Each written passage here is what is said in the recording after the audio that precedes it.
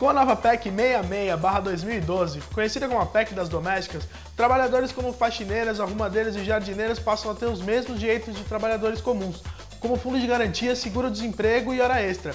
Para te ajudar com os novos cálculos de valores, escolhemos um site bem legal. Dá uma olhada. O site Nolar disponibiliza várias ferramentas úteis, como geração de recibo de salário, de férias, 13º, guia de recolhimentos de INSS e FGTS e até cálculos de valores para a demissão do empregado.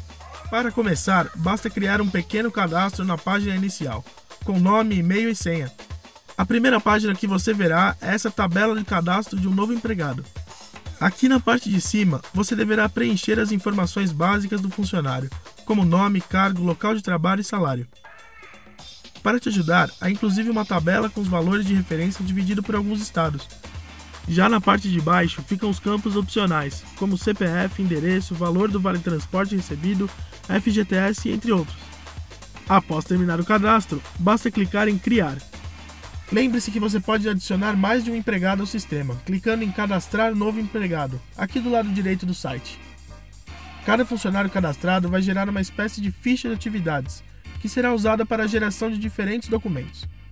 Nesse nosso exemplo aqui, vamos emitir um recibo de pagamento. O valor do salário fica aqui em cima, ao qual será adicionado os 20 dias úteis de vale transporte, que preenchemos durante o cadastro. É possível até incluir informações como dedução de faltas ou adiantamentos. Tudo certo?